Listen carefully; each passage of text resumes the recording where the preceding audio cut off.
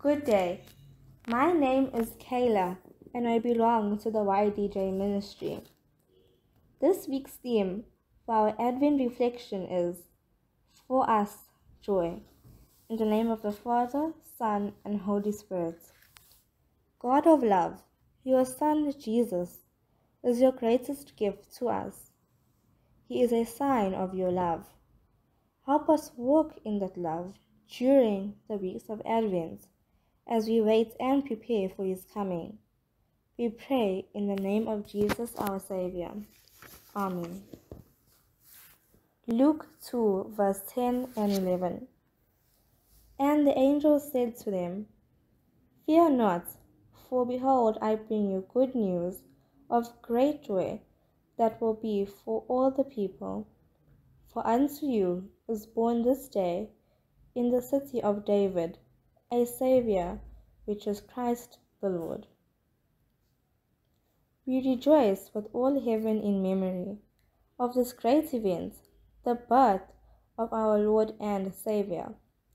This child is God incarnate, the Son of the Heavenly Father, the one who was to save humanity from the captivity of sin and restore God's children to Him. He was announced by the angels, visited by lowly shepherds, and worshipped by wise men from the east. Joy is a beautiful feeling in our souls, produced by the Holy Spirit, as He causes us to see the wonder of Jesus in His Word and His works. Joy is what we are celebrating this last of Advent Joy is what we ask the Holy Spirit for. The Bible says, The joy of the Lord is your strength. Joy is another fruit of the Holy Spirit. True happiness is not found in riches or well being, in human fame or power, or any human achievement, or indeed any creature, but in God alone the source of every good and of all love. Because Christmas is about the birth of God's Son, Jesus, it is about how He came to give us love, hope, and joy. This message remains the same today and does not change. Thank you for joining us today.